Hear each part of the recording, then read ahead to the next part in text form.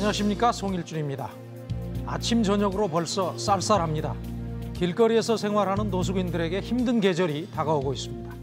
IMF 경제위기 때 급증했던 노숙인 숫자는 매년 서서히 줄어들어 오다가 올해에는 어려운 경제 사정 때문에 다시 증가세로 돌아섰다고 합니다.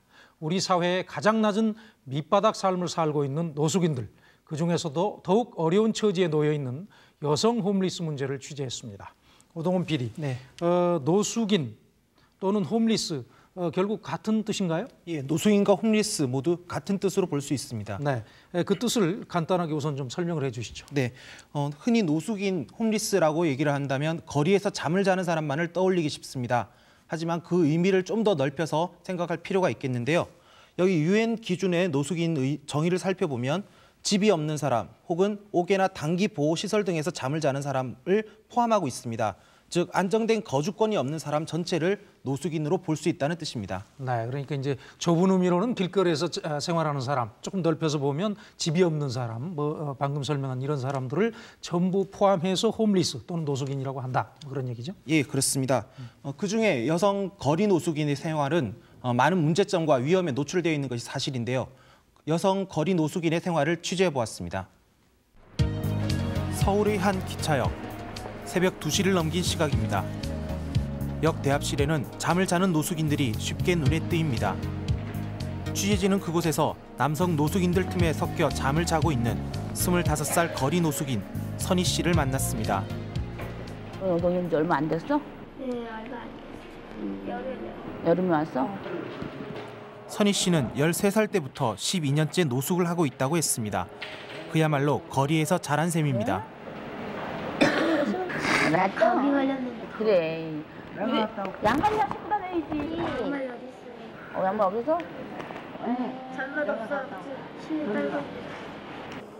잠시 후 남성 노숙인들이 다가와 처음 보는 취재진에게 술을 사달라고 조릅니다. 나. 술 마시자. 나돈 없어 그러면. 근데 밥에 사줄게. 아 지금 내가 사. 만 원만. 성락교회. 남자 노숙인이 술을 사오자 잠자리는 곧바로 술자리로 변했습니다. 안주라고는 스프를 뿌린 생라면. 선희 씨는 끼니도 걸은 채 빈속에 맥주를 마십니다. 어떻게 목을 왜 이렇게 내? 아유, 좀. 봐봐요 이 정도면 거의 새벽 5시 노숙인들이 깨어나야 할 시간입니다. 첫 기차 손님이 오기 때문입니다. 집이 따로 없는 선희 씨에겐 여간의 물품 보관함이 개인 사물함과 마찬가지입니다. 화장실까지 가기가 귀찮은 선희 씨. 그녀가 찾은 곳은 근처의 에스컬레이터입니다. 그러니까 지금 몸과 마음이 다 망가진 상태군요. 네, 오랜 노숙 생활로 피폐해진 선희 씨는 주변의 시선도 별로 의식하지 않았습니다. 역을 벗어난 선희 씨가 들른 곳은 PC방. 그곳에서 주로 시간을 보낸다고 했습니다. 얼마 후 남자 세명이 찾아왔습니다. 선희 씨가 오빠, 삼촌이라 부르는 남성 노숙인들입니다. 어, 어디 알았대요? 아 우리는 야오는 다 알죠 야오는 다 알지 우리가 모르는 데가 있어요 그런데 선희 씨가 다른 여성 노숙인과 채팅을 하던 중 시비가 붙고 말았습니다. 오빠 이거 봐라. 야, 너 오늘 연속부 넘어가면 죽을 준비해라. 근데 진짜로 못 그러지? 말만 그러지? 아니 진짜 진짜 지금 진짜 그래요. 그런다니까요 와서 더 진짜 그런다니까요 낮에 올것 같아. 느낌이 이상해. 오늘 낮에 올 것 같아. 아, 나 어딨나? 대사 타고 놀러 다녀요 나올 때까지 이 야 혼자 두면 안 돼 야 혼자 두면 다야 이제는 아줌마 잘 들어? 우리 아빠 저렇게 생각하는데. 씨. 아까 만들어. 이렇게 여성 노숙인들 중에는 보호자 격인 남성 노숙인이 있는 경우가 적지 않습니다. 다른 노숙인에게서 위협을 느낀 선희 씨. 그녀가 다시 자리를 옮긴 곳은 지하철입니다. 그곳에서 그녀의 과거를 잠시 들을 수 있었습니다.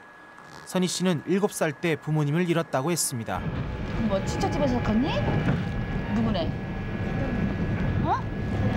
큰엄마 집? 어. 근데 왜 큰엄마가 구박하대? 자기들만 이뻐하고 TV에서 몇 살 때 나왔어 너? 11살 때?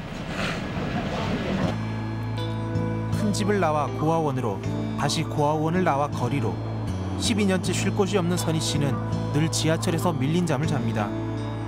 선희 씨의 고단한 하루가 또 그렇게 지나가고 있었습니다. 밤 8시 한 단체의 거리 노숙인 상담에 함께 나가봤습니다. 노숙인을 쉼터로 안내하는 이 상담에서 적지 않은 여성 거리 노숙인을 만날 수 있었습니다.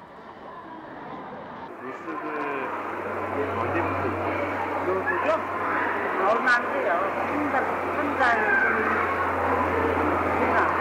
한 달, 얼마 안 돼요.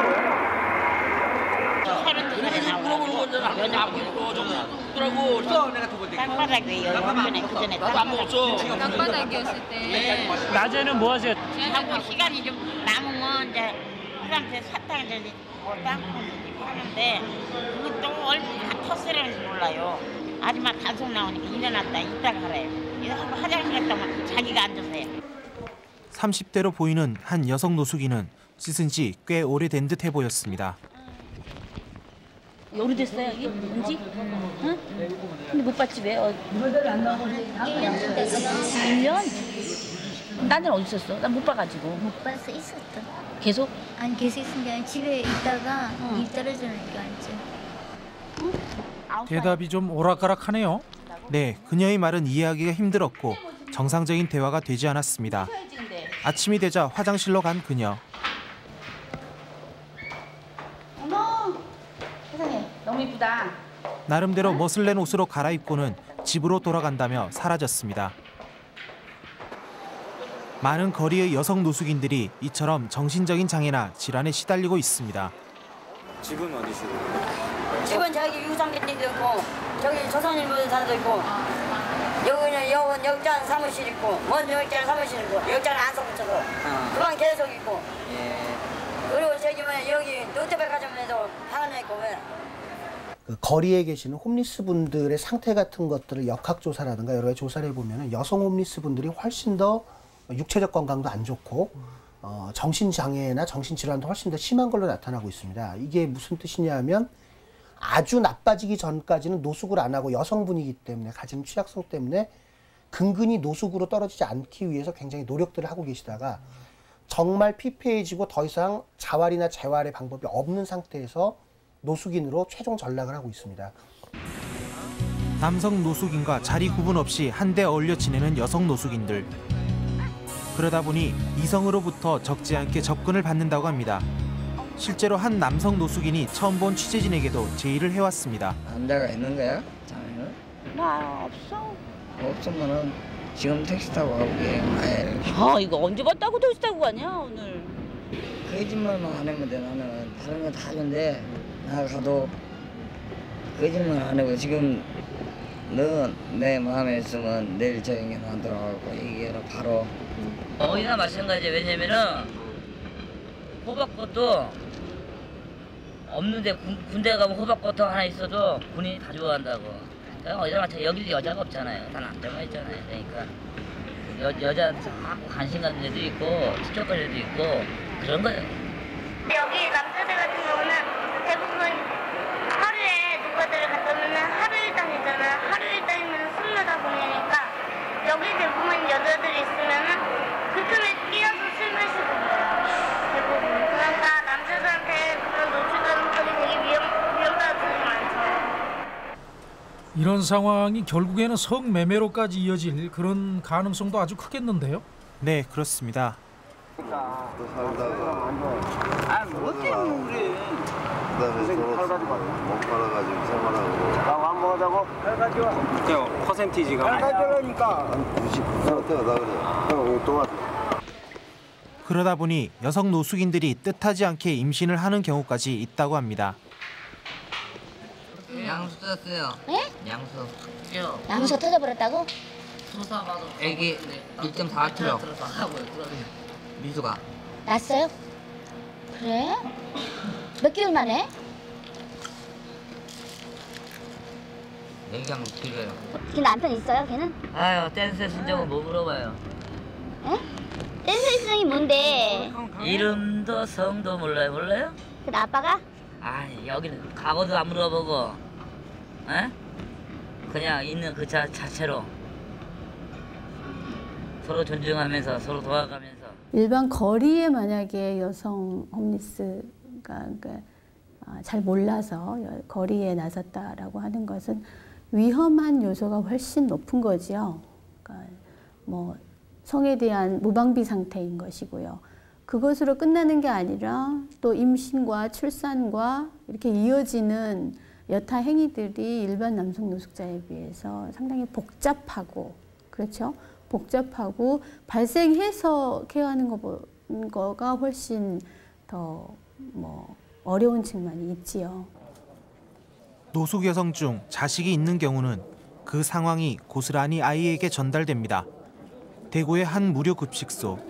매일 8시면 노숙인들이 긴 줄 사이에 한 모녀가 어김없이 나타납니다. 엄마는 2년 전부터 아이와 함께 이곳에 나타났다고 합니다. 이미 안 갈아입고. 옷도 안 갈아입어요? 써져. 옷이? 예. 안 쓰고, 안 쓰고. 애기도 안 해, 안 해. 옷, 옷안 갈아입고, 물도 안 갈아입고. 근데 왜, 왜 그렇게 생활한대요? 네, 주위에서는 주변 남성 노숙인들로부터 자신을 보호하기 위해 씻지 않는다고 추측하고 있습니다. 아이는 지금 몇 살입니까? 아이는 현재 9살입니다. 그럼 학교도 안 다닌 채로 노숙을 하고 있다는 얘기네요. 네, 실제로 상담을 통해 문제를 해결하려 했지만 어려움을 겪고 있다고 합니다. 주위에서 너무 많은 제의가 들어왔거든요. 그러니까 아동 학대 예방센터에서 신고가 들어와서 그쪽에서 또한 접근을 했는 방법도 있었고 그것 때문에 저희들에게 거부를 많이 느껴서 이제는 완전히 얘기를 안 하세요. 아이를 품에서 놓지 않는 엄마. 하지만 그 속에서 아이의 행복은 없었습니다. 오히려 엄마는 아이에게 노숙을 대물림하고 있었습니다. 어머니 입장에서는 저 아이마저 뺏기면 죽음일 것 같으니까 철저하게 의존하고 통제하고 그렇게 하는 것 같아요. 지금 저 상태에서 제가 가능하건데 거의 노숙 생활로 갑니다. 아이도 네. 오동훈 PD. 어, 이 여성 노숙인 문제는 노숙과 아, 여성이라고 하는 문제가 결합되어 있는 것 같은데요. 네.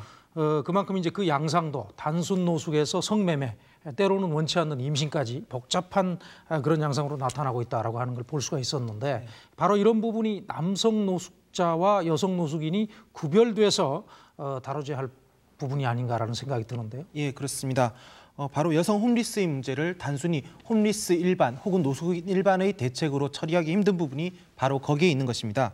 특히 자녀를 동반한 경우 어머니의 노숙이 아이에게 대물림이 되고 아이가 누려야 할 권리들이 보호받지 못한다는 측면에서 보다 세밀하고 적극적으로 문제를 해결해야 할 것입니다. 네. 어, 김현정 PD. 어, 남성 노숙인 문제는 그동안 방송이라든가 언론에서 이제 상당히 많이 다뤄져 왔고 또 많이 알려져 있는 부분이 있는데 이 여성 노숙인 문제는 별로 그렇지 못한 것 같아요. 근데 어, 현장에 직접 가서 취재를 해보니까 그 실태가 어떻던가요?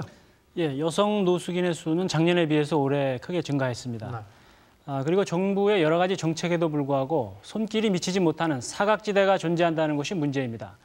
그 현장을 취재했습니다. 현재 보건복지부가 파악하고 있는 여성 노숙인의 실태는 어떤지 알아보았습니다. 시군구를 통해서 물론 시도를 거쳐서 쉼터에 있는 여성 노숙인 현황을 파악하고 그 다음에 거리에 있는 여성 노숙인은 상담보호센터에서 거리에 직접 상담을 통해서 파악하고 있습니다.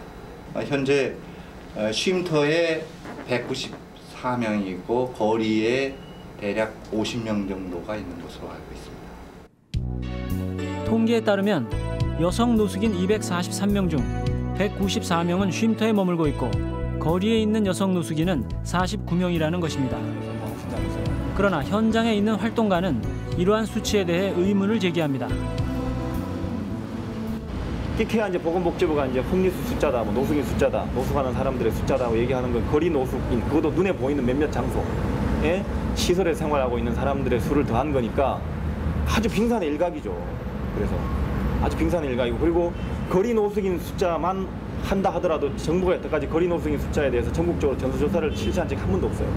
정부가 뭐, 뭐 여성 홈리스 200명이다 그러면 보통 한 3배, 5배 정도라고 이제 저희들은 생각을 하죠. 아, 현장 최소한, 경험상 최소한 예 최, 최소한 아, 예. 그것도 최소한으로 그렇죠 최소한으로 그렇다면 파악되지 않고 있는 여성 노숙인들은 어디에 있을까?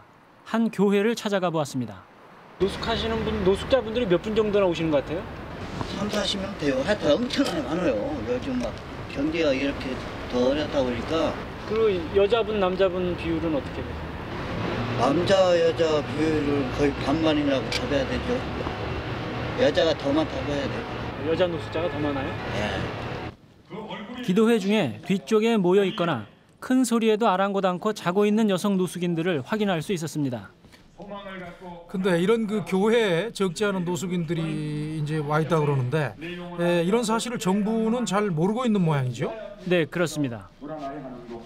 5시 되면 우리가 기사니까 이제 쫓으면 이제 배를 새벽 기도를 하고 있어요. 그럼 볼륨도 다 가요. 그 사람들 갈 데가 없으니까 그 시간, 시간에 하여튼 어디 가서 또, 또 조금이라도 비비고 자야 되니까 그냥 왔다 갔다 하는 거예요, 그냥 여기도. 이런 곳은 노숙인 파악이나 상담의 사각지대입니다. 상담원이 뭐, 서, 뭐 서울시 전체를 커버할 수는 없기 때문에 주로 이제 노숙인들이 많이 있는 곳을 하다 보니까 그런 일이 수 있죠 상담에서. 최근의 또 하나의 사각지대는 찜질방처럼 24시간 자면서 머물 수 있는 곳입니다. 한 찜질방을 찾아가 봤습니다. 이 찜질방에는 별로 어울릴 것 같지 않은데 이 가방 말이죠. 근데 에, 이 여성이 홈리스 여성인가요? 네, 그렇습니다. 개인 생활용품들을 다 넣어 가지고 다니는 가방입니다. 다리미도 있고 뭐 이것저것 그냥 있어요. 고구마 같은 거뭐 먹을 거 하고 이런 거 있어요. 그냥 잡동사니 실바늘. 남편의 폭력 때문에 이곳에 오게 됐다고 했습니다. 그런데 비슷한 생활을 하는 사람이 더 있는 것 같았습니다. 하토도 있고. 누가 붙어요? 여기 이제는 자주 오시는 아줌마들 있으니까. 마땅히 갈 곳이 없어서 찜질방 장기 이용권을 끊고 산다는 이 사람. 그러나 이제 다른 곳을 찾아보고 있다고 합니다. 지금 여기 있는 지는 한 두 달 됐고 또 겨울 되면은 여기가 좀 비싸지니까 또 옮겨야 돼요. 뭐예요? 낮에는 아 낮에는 돈 벌러 나가야죠. 무슨 일 하세요? 시간 식당이? 그 식당에서도 자고 이렇게 그러지 않아요? 원래? 아, 기, 김밥집이라 잠잘 데가 없어요. 잠잘 수 있는 겨울에는 잠잘 수 있는 식당을 구해야죠. 이러다가 결국 길거리로 나앉는 경우도 있습니다. 찜질방에 맨 처음에 있다가 찜질방에서 별로 없으면 이제 길거리에서 뭐 노- 지하철도 있잖아요. 지하철역 그런데 뜨뜻한 데 있잖아요. 거기 좀 있다가 노숙 하실 때 아이들은 같이 있었죠 뭐. 같이. 당장 없으니까. 서모 씨의 경우 숙식을 제공하는 식당에서 일했습니다. 쫓겨나지 않기 위해 만삭의 배를 감추어 가면서까지 일했다고 합니다. 먹고 자고 도저히 막 저기 서빙도 보고 주방에서 그릇도 닦고 하는데 이래 막 이래 부어 올라오니까 주인이 거기다가 그래 나도 도저히 안 되겠고 그래 이제 무거운 것도 많이 들고 막 이러버리니까 그래 안 되겠어서 그래가 도로 이제 거기서 해갖고 갈 데가 또 있습니까? 결국 홈리스 여성들은 이곳저곳을 전전하고 난 다음 최후에야 거리로 나온다는 것입니다. 어, 완전히 거리로 노출되기 이전에 최후의 수단으로 여성들이 생활하는 곳이 어, 황토방 혹은 24시간 사우나 그리고 이제 특정의 종교시설 예를 들면 기도원이나 어, 그 사찰 등에서 밥 해주고 자기의 이제 그 먹고 사는 문제를 해결하는 이런 집단이 그 상황에서 노출되면 오갈 데가 없는 거죠. 그러나 거리에 나오더라도 역이나 공원처럼 남성 노숙자들이 많이 모여 있는 곳에는 가질 못한다고 합니다.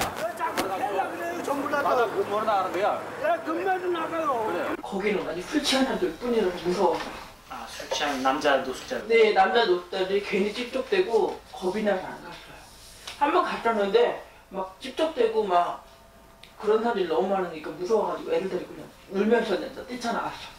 서울역에는 제가 가봤어요. 저도 가봤는데 그쪽에 보니까 남자분들이 많고 알코올 중독인 그런 분들이 많더라고요. 무서워서 다시 내려왔어요. 저도.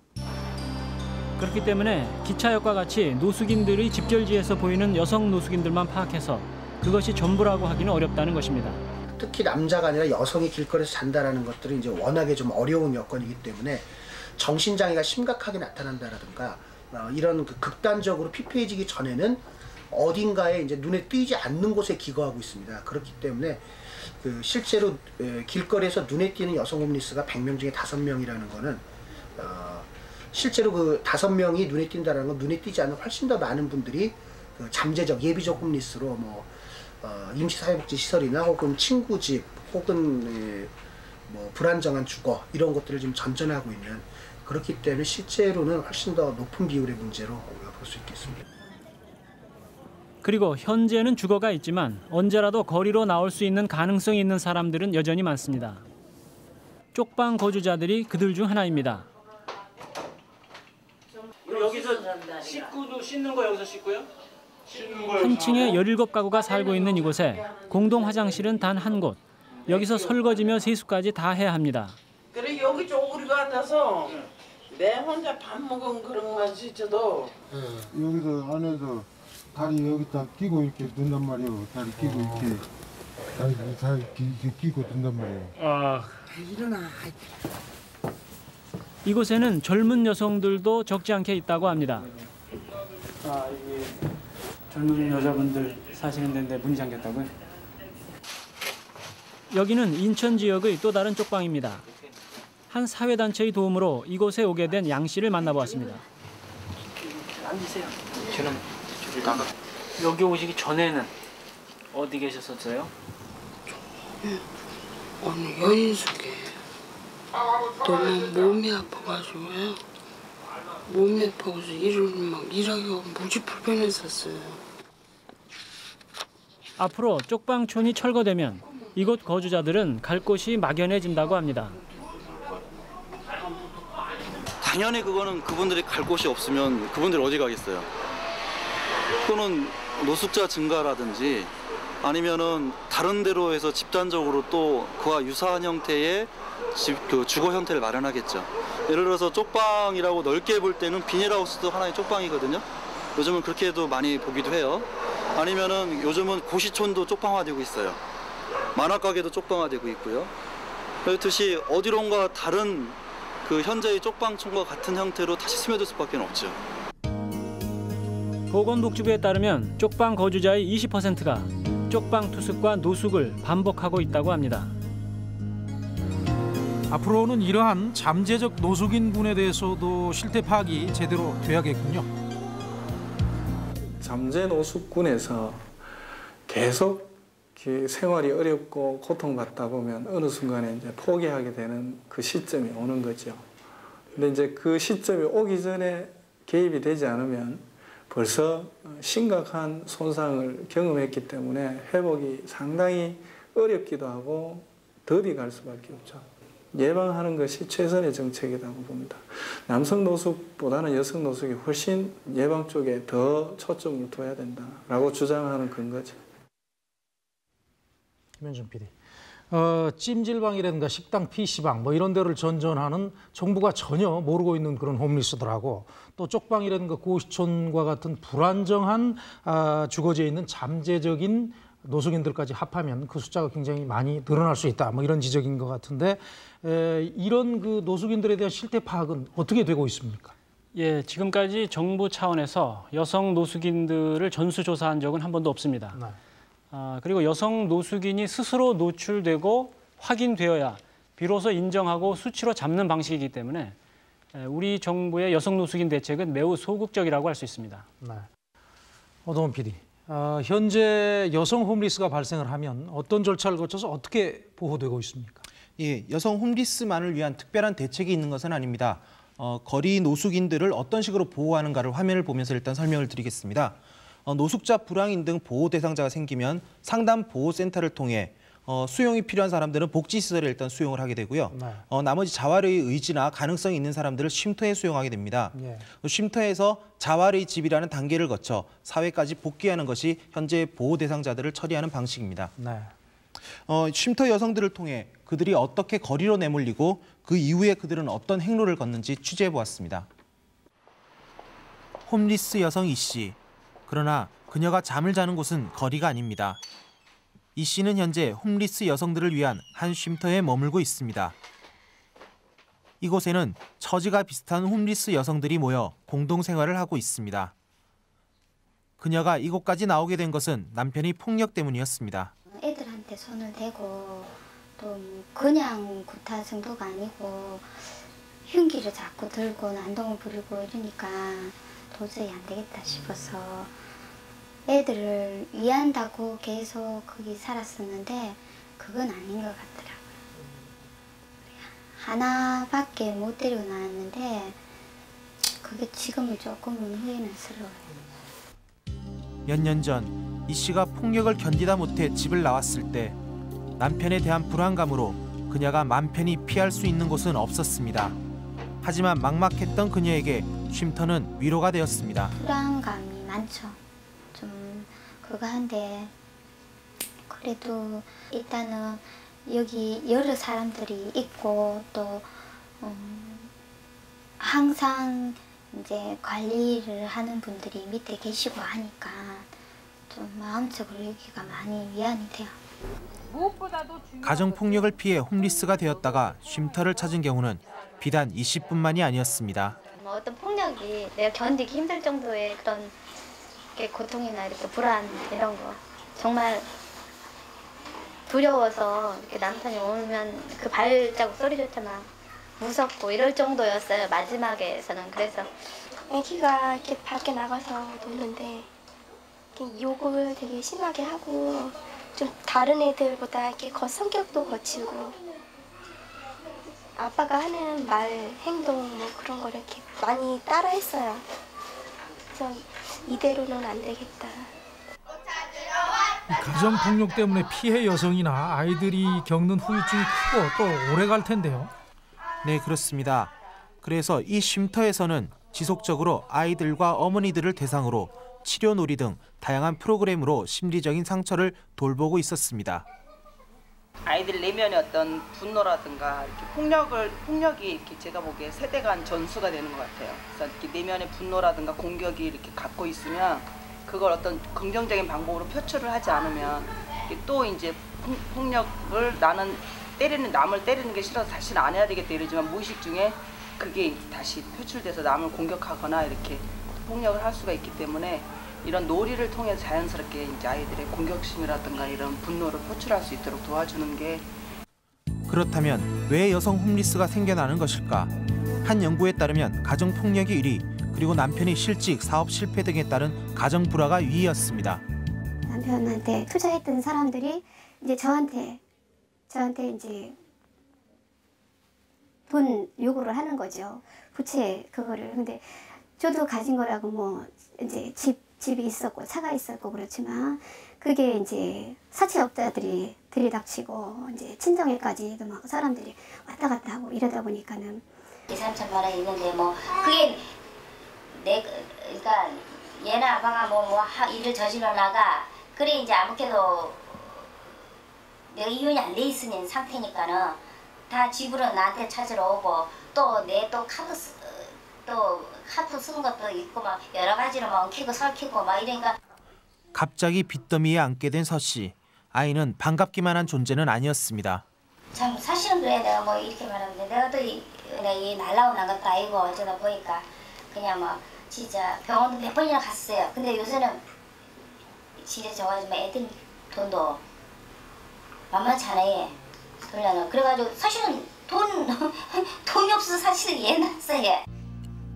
갓 태어난 아기를 키우며 낯선 사람들과 함께 지내는 일은 말처럼 쉬운 일이 아닙니다. 하지만 정말 오갈 데 없는 이들에게 이런 쉼터라도 더없이 소중한 공간이 됩니다. 날 그때는 쉼터를 잠시 내가 머물 수 있는 거 비 피하고 뭐 할 수 있는 거 당신 급해서 친척집 가서 눈치 보느니 여기 편해 여기 편해 웬만한 그 배짱과 그 정말 어렵게 살아보지 않은 사람은 도저히 견딜 수 없어요. 그게. 그래서 어디서도 어도 갈 데가 없기 때문에 여기가 천국처럼 여겨지는 거예요. 우리를 천국이라고 여기는 분들이에요. 응? 그러니까 얼마나 오갈 데가 없으면 그런가 그런 것에 대한 생각을 다시 해봐야 되죠. 딸과 함께 길거리를 전전했던 나영이 엄마는 임신한 몸으로 쉼터를 찾았습니다. 하지만 그녀에게 아기는 너무 큰 부담이었습니다. 진짜 혼자 같으면 어떻게 해보겠는데 아이하고 둘이니까 말세방에 있었거든요. 보증금 조금 있을 거예요. 근데 이제 보증금도 이제 거의 다 이제 이제 그 보증금에서 월세를 해야 되는데 거기서 이제 거의 다 이제 다 나가고 나니까는 당장 이제 거리에 나가게 생겼잖아요. 근데 이제 막상 갈 곳이 없고 해서 그냥 그리고 그래서 아이는 그래서 이제 어떻게 하셨어요?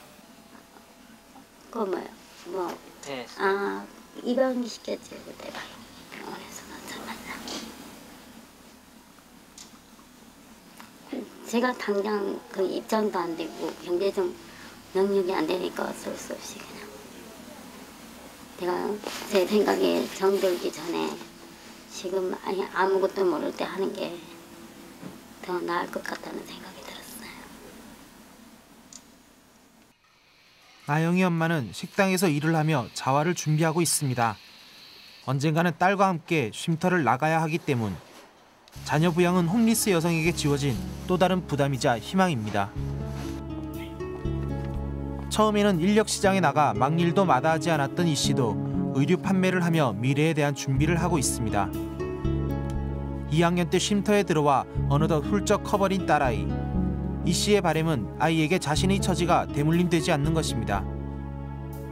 자녀를 둔 홈리스 여성이 독신 여성에 비해 자활의 가능성이 높은 이유도 바로 아이 때문입니다.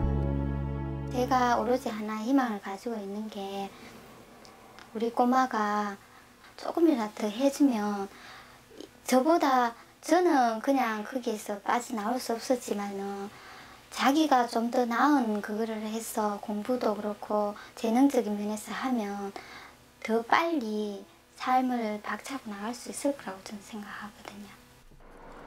오늘 이 씨는 특별한 나들이에 나섰습니다. 몇 달 후 이사갈 자활의 집을 보러 간 것입니다. 자활의 집이라는 건 뭡니까?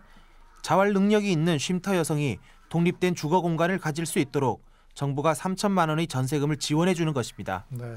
그렇다면 이 자활의 집에 머물면서 어, 앞으로 이제 제대로 된 자기 생활 그리고 집을 준비할 수가 있겠군요. 네, 그렇습니다. 어, 열심히 살아야 되겠다는 생각이 들어요. 네. 좀 많이 새롭네요. 그래도 그쪽에서는 우리 집이다 하는 느낌이 없는데 여기 와서 생활하면 우리 방을 가지고 꾸며가면서 살 수 있다고 생각하니까 비록 노점상이지만 자기 장사를 하고 있는 백형숙 씨. 그녀도 한때 홈리스 여성이었지만 쉼터 생활을 발판으로 다시 일어섰습니다. 오늘 장사 어땠어요? 오늘 장사 괜찮았어요. 얼마나? 아직은 뭐 쉬어봐야 알겠죠. 한 솜사탕 한 150개 정도 판매 갔습니다. 오늘 몇 시에 나오셨는데? 오늘 아침 3시 반에 나왔어요. 새벽 3시 반에? 네. 백 씨는 이혼 후 파출부 등을 다니며 악착같이 아들을 키웠지만 생활고로 결국 홈리스가 되어 쉼터를 찾게 되었다고 합니다. 쉼터에서는 어떻게 독립해서 나올 수 있었습니까? 백 씨는 쉼터에 머무는 동안 아이스크림 장사를 하며 하루 몇만 원치 벌이를 했고 몇 달 후 노점상을 본격적으로 시작하며 독립할 수 있었습니다. 3시 반, 몇 3시 시에 반. 일어나셨습니까? 3시 반에 일어났으니까 힘들었잖아요. 오늘 제일 많이 번것 같아요.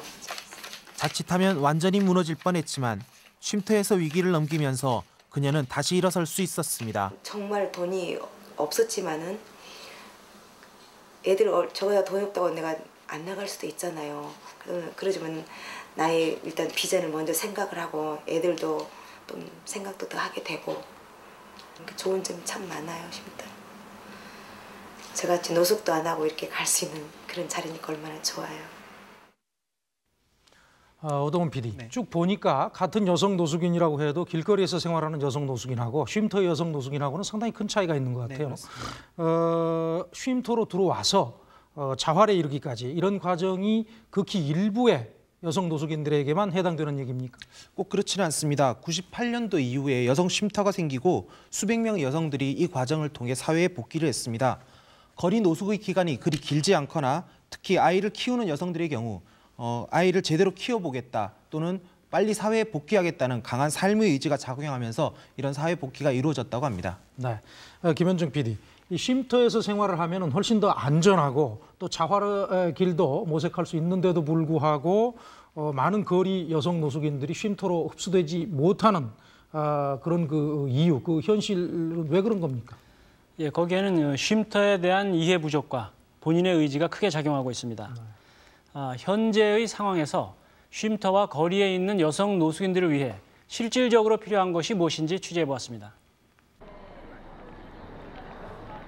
거리의 노숙 여성들은 쉼터에 대해 얼마나 알고 있을까? 예전에 쉼- 여성 쉼터에 있어하신 적이 있으세요? 아 그런 데는 없었어요. 그런, 그런 건 알고 있어요. 쉼터가 있어요. 쉼터가 뭔지는 아세요? 아 쉼터 쉼터는 대부분 어린애들 많이 있잖아. 아니, 그죠? 아니 어른들은 어른 어른들은 쉼터 모르죠? 날도 추워지는데 쉼터에 들어가서 겨울 지내실 생각 없어요? 모르겠어요 지금. 아 들어가 볼 생각도 없는 건 아니네요 또. 뭐 생각을 안 해봤어요. 이야기는 듣고 하는데 지난 5년간 노숙인 현황을 보면 쉼터 노숙인의 수는 줄고 거리 노숙인의 수는 늘고 있습니다. 왜 그렇습니까? 네, 거기에는 쉼터에 대한 오해도 한몫하고 있습니다. 막 거의 남는 게 시간이잖아요. 그렇지 않은 분도 있겠지만 뭐 본인 하고 싶은 거 일하고 싶은 거 일하고 하기 싫은 말고 근데는 구체적으로 쭉 해야 하니까 그 거기 있는 동안에만 쉬지 못하고 아, 그러니까 자유롭게 할 수가 네, 그, 그, 그런 것 때문에 뭐 폭력이고 가다 놓고 막 이- 이상한 교회 단체에서 하고 막 이런 그런 거를 사람들이 머리에 담고 있더라고요. 처음 여기 딱 와서도 그- 저한테 그 이야기를 물어봐요. 여기 가둬놓고 생활을 하냐? 아이들은 어디서 생활을 하냐? 쉼터에 대한 이해를 돕기 위해서는 노숙인에 대한 상담 체계가 보완돼야 한다는 지적도 있습니다.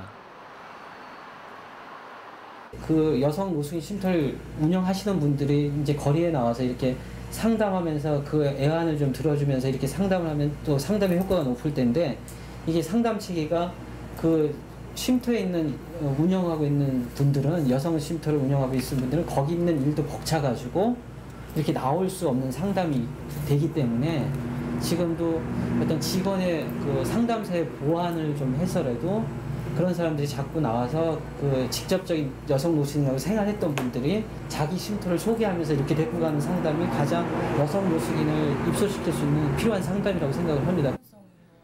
쉼터의 프로그램 또한 입소자들의 특성에 맞도록 다양화될 필요가 있다고 합니다.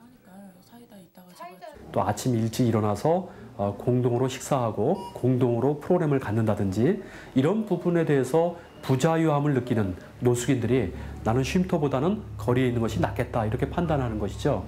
그런 부분에서 거리 노숙자들을 쉼터로 유인하고 어, 또 그들을 어, 어떤 국민 다 어떤 그 실제로 우리 사회로 돌아 어, 보내려면은 어, 노숙인 쉼터에서 그들을 유인할 수 있는 그런 어떤 다양한 서비스와 어, 다양한 어떤 그 단계에서의 에, 처방이라든지 이런 것들이 좀 필요하다고 봅니다.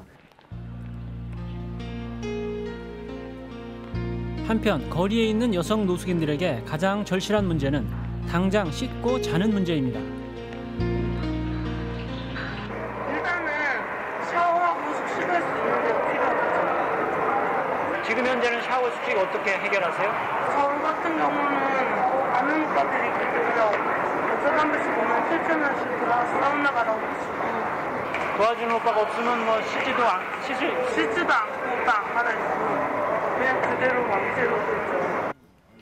그런데 남성 노숙인들의 경우 취침과 간단한 식사, 세탁과 목욕까지 할 수 있는 드롭인 센터가 있습니다.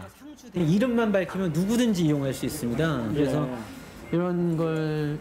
필요 면도기 제공을 하고 있고요. 그다음에 칫솔이라든지 치약이라든지 수건은 무제한 제공을 하고 있고요. 음, 무료로? 예, 무료로. 그게 이제 이게 가장 아저씨들이 좋아하는 서비스 중에 하나입니다. 그리고 여성 노숙인도 올 수는 있지만 현실적으로 남성 노숙인의 공간이 되어 있습니다. 샤워실. 화장실 한 칸을 샤워실로 만들어 노숙인들은 이곳에서 언제든지 씻을 수 있도록 했습니다. 이 안에 이 안에 여기 샤워실이네. 1인용. 여자들이 이용하기는 좀 불편하겠는데요. 네, 남녀 구분 없이 샤워실이 하나이기 때문에 여성들이 이용하기엔 곤란한 곳입니다. 이게 저희의 가장 취약점입니다. 원래 저따 네. 목욕탕을 만들려고 그랬는데 이게 있어서 여성 노숙인이 못 와요, 잘. 여성이 공간이 분리가 돼야 되는데 아직 공간이 분리가 못 돼서. 상담 기능과 함께 잠자는 시설까지 갖추어진 이곳은 남성 노숙인들로부터 좋은 반응을 얻고 있습니다. 자니까 어그 여름 이 바닥이 저녁 때는 잠자리가 되는 겁니다. 아, 이 바닥도? 예, 이 바닥도. 아, 근데 아저씨 많으니까. 예, 인원이 많으니까. 돈이 없는 분들에게 세면이라든가 뭐 면도, 목욕 같은 것을 빨래 같은 것을 할 수 있는 곳이 없습니다. 별로.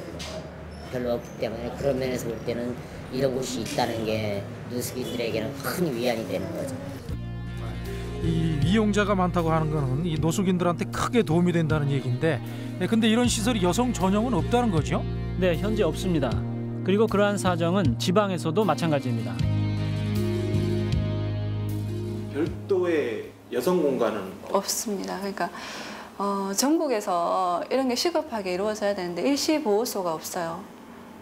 어, 일시 보호소도 없고 정신증을 가진 여성분들이 들어가서 쓸수 있는 공간도 없기 때문에 이게 체계적으로 만들어져야 되고요. 그리고 여성이 쉽게 접근할 수 있는 그러니까 노숙인들이 쉽게 얘기를 하고 접근할 수 있는 공간이 필요한데 전무후무하고요. 네, 현재는 없어서 사실 있어야 되는 건 아주 필, 필수 상황이거든요. 여성 전용 센터. 있어야죠. 왜냐하면 인원이 많든 적든 간에 사실은 어, 지금 이게 저기 정식 드로인 센터가 없기 때문에 드로인 센터가 아닌 다른 곳에서 또 어떤 피해를 당하는 홈리스들이나 또 자꾸 숨어 지내는 홈리스들이 있거든요. 예, 그분들을 위해서 있어야죠. 그러나 서울시에서는 파악된 숫자가 적다는 이유로 여성 전용 drop-in 센터 마련에 난색을 표명했습니다. 근데 그러면 drop-in 센터라는 게 일단 거기에 이제 이미용, 목욕 모든 시설을 갖추는데 거리에 있는 노숙인 뭐 한 열 두세 명을 보고 drop-in 센터를 하나 여성 전용으로 한다는 건 좀 어떻게 보면 예산 낭비. 만약 거리에 있는 노수, 여성 노숙인이 목욕을 꼭 하고 싶다 그러면 우리가 어디 목욕탕을 하나 계약을 해가지고 그 이제 우리가 쿠폰을 공급을 해서 그 쿠폰을 가져오면 나중에 우리가 그 예산을 지원할 수가 있거든. 그런 방법을 해야지 그 여성만을 이용하는 드로미스 설치한다는 것은 아무래도 조금 예산에 너무 낭비가 아닌가 그런 생각이 좀 들거든요. 숫자가 적으니까. 예, 예. 한편 복지부에서는 필요성은 인정하면서도 여성 전용 드로빈 센터까지는 곤란하다는 입장입니다. 여성의 특성을 고려해서 이, 이 사람들이 사용할 수 있는 공간을 마련해 줄 필요 가 있지 않느냐 해서 서울역 앞에 큰 규모의 상담보호센터를 준비하고 있기 때문에 이때 이곳에 여성만이 사용할 수 있는 공간을 마련해 줄 계획입니다. 이것은 여성 전용 상담센터는라고 볼 수는 없겠죠. 다만 그 공간을 여성만이 활용할 수 있도록 배려해 주겠다는 거예요. 공간의 일부를. 그렇습니다. 정부의 노숙인 대책이 다수인 남성 노숙인을 중심으로 추진되는 동안 소수의 여성 홈리스들은 심각한 위기에 노출되어 있는 것입니다.